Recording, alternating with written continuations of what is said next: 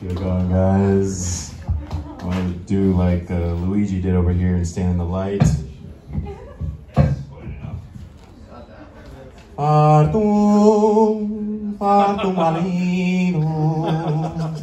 Santo putin da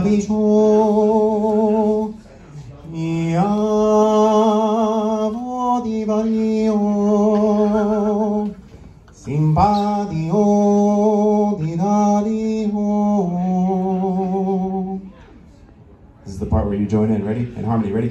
In don invadio di. You know. I'm waiting for your response. You know. You know. You know. You know. We can dance together under the moon or the twinkling star. The moon is brighter than Bruce. Is it Bruce or is it bird's? It's a beautiful head, but there are no craters, and it's okay. It is alright. I'm waiting for you to join in right now because I want my duet partner. You know. You know, you know by all. You have to pay me. You have to pay me. Do you have Bitcoin? Do you have Do you have Bitcoin or Cash App or Venmo? Do you have Venmo?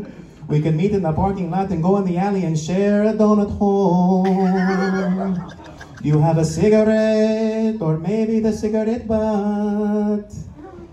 Maybe something that's shoved inside of a coconut. Do you know? Bayone, I'm waiting for you to respond to me. Because you look like my favorite Mario character, Luigi. Oh, you know. I'm going to keep going until you join me in song. You don't like me. You don't know. I What, you let you don't right like now. I give you the powder myself, my Italian brother. You know. You know, I stand in the light waiting for you. You know, I've been waiting. You know. Know. I've been waiting for you all night. You know. You know. You smell so good. You smell like coconuts and cigarette butts. You know. You know. You smell so good. But you don't. But I don't, you know.